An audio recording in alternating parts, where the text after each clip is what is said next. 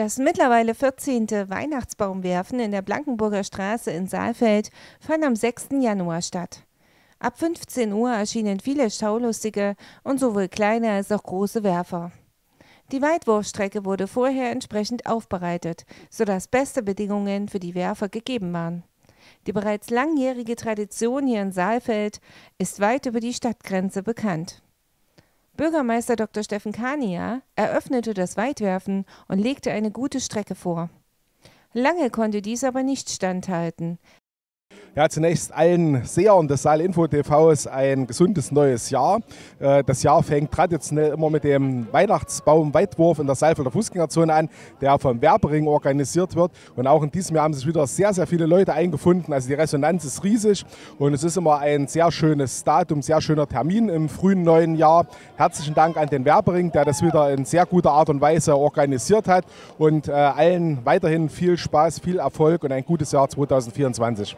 Selbst die Kleinsten waren voller Ehrgeiz. Auch unter den Kindern wurde sich kein Zentimeter geschenkt. Hier wurden alle Kraftreserven gebündelt, um den Baum so weit wie möglich zu werfen. Merle aus Erfurt und Flori aus Saalfeld trafen wir nach ihren Würfen. Also ich bin heute zum ersten Mal hier, weil ich wollte das halt mal so ausprobieren, wie das ist, den schweren Baum zu werfen. Und ich finde, es hat sich sehr gelohnt. Ich bin mit meiner Cousine hier und ähm, ich äh, wollte da das Weihnachtsbaumschießen machen, weil es mir Spaß macht. Und ich habe fast bis zur drei geschafft. Die Schlange wurde nicht wirklich kleiner, denn jeder wollte die drei Würfe mit der besten Weite erreichen, um die tollen Preise zu gewinnen. Hier wurde über die Wurftechnik diskutiert. Manch einer versuchte auch, sich von den Vorgängern etwas abzuschauen. DJ Böhmi begleitete den Nachmittag des Events mit seiner Musik. So, unsere Schlange steht an mit den Bäumen, groß, klein. Die Vielfalt ist groß und denke ich mal auch diese Weite, die hier zu erreichen ist. Der Maßstab ist hochgesetzt momentan bei den Männern über 8 Meter, bei den Damen über 7 Meter und das ist ein sehr guter Wert. Mal sehen, wie es dann abends wird. 18 Uhr war Schluss und es folgte die Auswertung.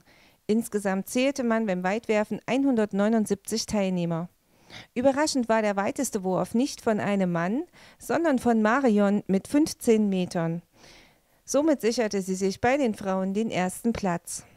Platz 1 bei den Männern mit einer Weite von 11,40 Meter ging an Markus und Platz 1 bei den Kindern an Niklas mit einer erstaunlichen Weite von 10 Metern.